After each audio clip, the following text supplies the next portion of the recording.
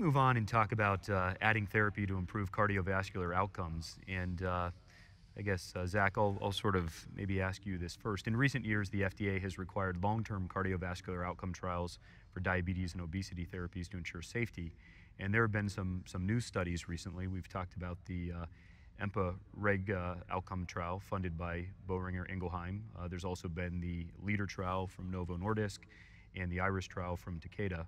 Um, so maybe you could talk a little bit about those trials, uh, what, what you think uh, the evidence result is, and what that means for thinking about adding on therapy.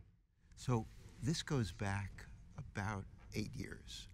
Um, and in 2007, uh, a inflammatory and incorrectly conducted meta-analysis was published in the New England Journal of Medicine suggesting that the thiazolidine dione rosiglitazone was associated with increased cardiovascular outcomes. Um, and that led to a huge outcry and huge pressure on the FDA asking, why didn't you stop this? And then a year or two later was the report of three large cardiovascular outcome trials which attempted to demonstrate that glycemic control actually improved cardiovascular disease. And these were called ACCORD and ADVANCE and the Veterans Administration Diabetes Trial. The ACCORD trial, which sort of threw the kitchen sink at everybody and, and said hypoglycemia is not so important, let's just get the blood sugar down, found about a 20% increase in mortality in intensively treated patients um, as opposed to the standard of care group.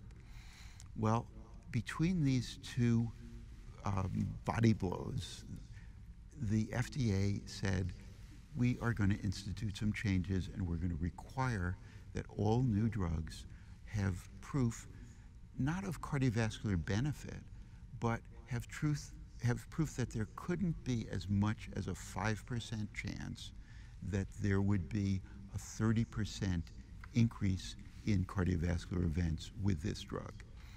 And that started off with total cardiovascular events. It looks like from their latest announcements, the FDA might now be leaning to specific endpoints like heart failure. Well, as a consequence, pharmaceutical industry has carried out these very expensive, hundreds of millions of dollars per trial cardiovascular safety trials with a variety of drugs to try to show that people who have cardiovascular disease can take these drugs without as much as a 5% chance of increased risk. So we're not trying to show that there's not a statistically significant chance. We're trying to show that there's statistically significant non-chance. It's a very different paradigm. Right. So in this very complicated, messy situation, we've had three recent trials that really are earth-shattering. First of all, empagliflozin, an SGLT2 inhibitor, in a relatively small, as these things go, trial, 6,000 people, 2,000 were on usual care, and 4,000 were receiving various doses of empagliflozin and had a reduction in cardiovascular death.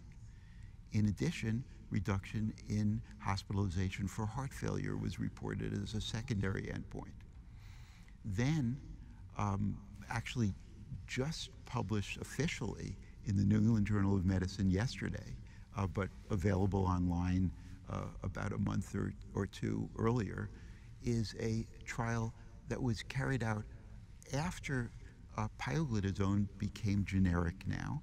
Um, we've learned a, a long-term trial of pioglitazone in individuals who did not have diabetes, but who had had a stroke and had increased um, uh, levels of insulin resistance. Those individuals have a reduction both in stroke and heart attack when treated with pioglitazone. And it was a complicated trial done the right way. They were careful to avoid heart failure, which is a known complication of this drug. And they showed very appreciable reductions in these two major macrovascular outcomes. And now, just recently, over the past month, by press release, we not not not by actual publication of the trial.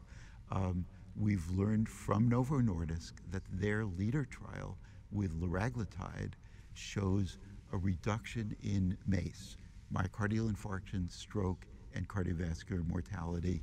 All components were reduced, and the total uh, MACE endpoint was significantly reduced.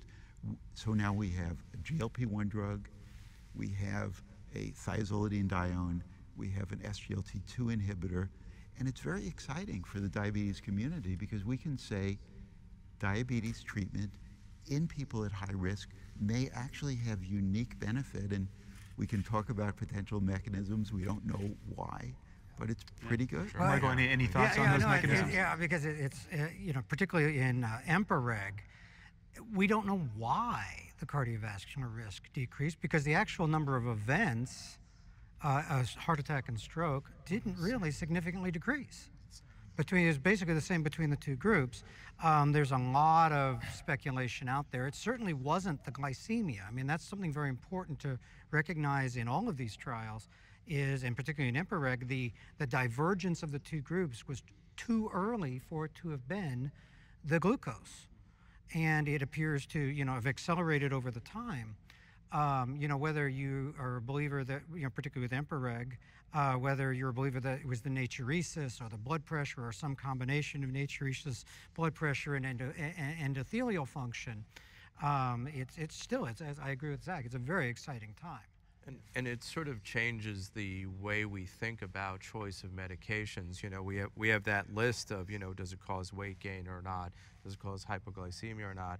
And now we have an expanded number of drugs that say, well, does it also lower cardiovascular risk uh, uh, beyond its glucose effects? And, you know, obviously that's critically important because the number one reason why people with diabetes die is heart disease. Yeah. And, well, and, these, and, and so anything that's going to lower that, yeah. particularly in people in high risk, it's hard not to consider that a, a, really important factor in all of weighing the, the different factors in terms of choice. So with, with the thiazolidinediones, uh, now I'm thinking back to the studies that showed that people who who had PTCA with and without diabetes who were randomized to a thiazolidinedione or not had reduction in restenosis if they were on either Rosi or pioglitazone.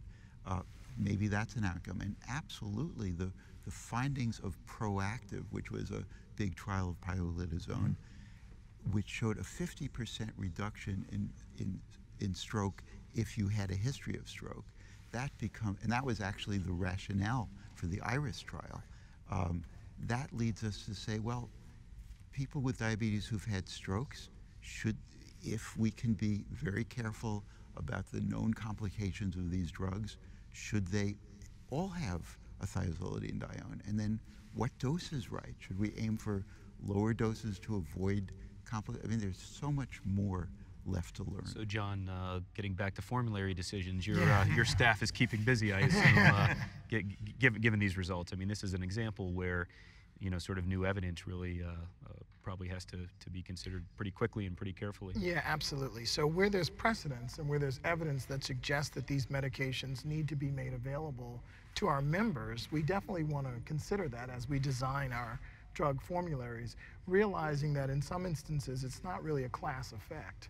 Um, as right. several so, of the studies you referenced, sure. it was one agent in the class as opposed to right. all so, the agents so in the class. Another GLP-1 drug, lixisenatide, which is going to be approved soon and will be much cheaper than liraglutide, did not show cardiovascular did not show, benefit. Exactly. So, you know, so often when I try to prescribe liraglutide, I get a, a nasty note back, not from you guys, of course, but from some other unnamed other company, other unnamed company. right.